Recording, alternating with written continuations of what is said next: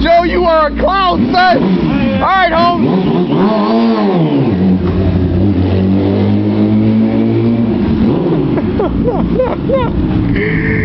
dude, he's a clown, dude. Dude, I love Joe, man. That's my boy.